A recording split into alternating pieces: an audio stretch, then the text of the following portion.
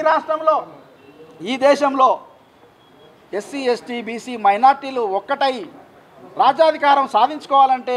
Vote హక్కును వినియోగించుకోవాలని చెప్పేసి బాబాసాహెబ్ అంబేద్కర్ గారు చూపెట్టినటువంటి మార్గంలో పయనించినప్పుడే దళిత్ ఎంపవర్మెంట్కి లేదా ఎస్సీ ఎస్టీ ఎంపవర్మెంట్కి సార్థకత చేకూరుతుందని చెప్పేసి ఈ సందర్భంగా నేను తెలియజేస్తూ మరి ఇంతకుముందు మా మిత్రులు చెప్పారు బలవంతరావు గారు అదేవిధంగా శంకర్ గారు చెప్తారు సిబి ప్రసాద్ గారు చెప్తారు ఇంకా విశ్లేషణ చేసి ఏ లెక్కలతో సహా చెప్తారు. గతంలో ఏదైతే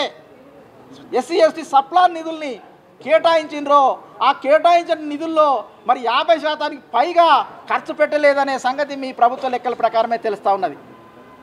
అట్లా కనుక ఖర్చు పెడితే మరి ఖర్చు బాగుండేది కానీ ఖర్చు పెట్టలేదు కాబట్టి మరి ఏడు వేల కోట్లకు పైన ప్రతి సంవత్సరము అక్కడ ఏది పెండింగ్లో ఉన్నాయి. అవి క్యారీ ఫార్వర్డ్ కూడా చేయట్లేదు. అవి పక్కన పెట్టి కేవలము పన్నెండు వందల కోట్ల రూపాయల్ని